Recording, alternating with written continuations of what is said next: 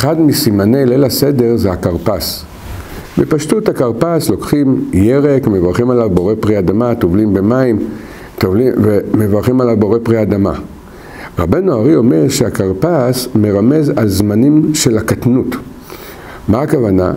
יש ימים בשנה, זמנים בשנה, שכולנו זוכים לגדלות מוחין, מאיר לנו אור גדול, אבל כולנו כבר חווינו שאחרי גדלות באה קטנות, ופתאום הכל מסתלק, אדם נופל לחשיכה, להסתרת פנים.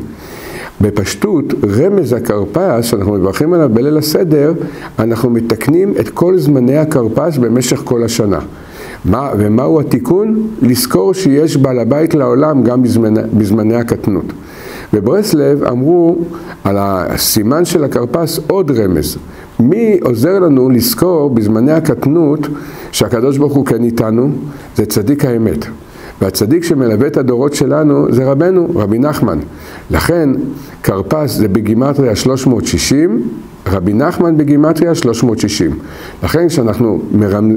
כשאנחנו מברכים על הכרפס, בורא פרי אדמה, לכוון שרבנו יהיה איתנו בכל זמני הקטנות של השנה. הירשמו לערוץ של הרב ויישארו מעודכנים.